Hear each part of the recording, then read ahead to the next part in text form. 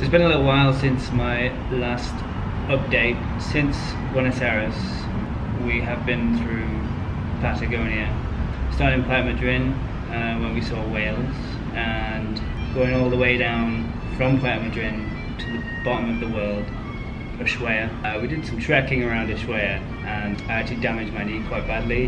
Uh, we were supposed to be doing the W trek. Well, I didn't want to do it because it's like a three or four day trek.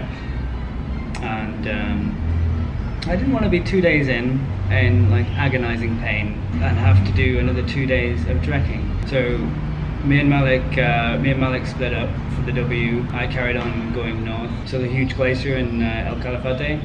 Did some treks around El Chaltén. Then I went up to San Carlos Bariloche, rented a car, did the Seven Lakes.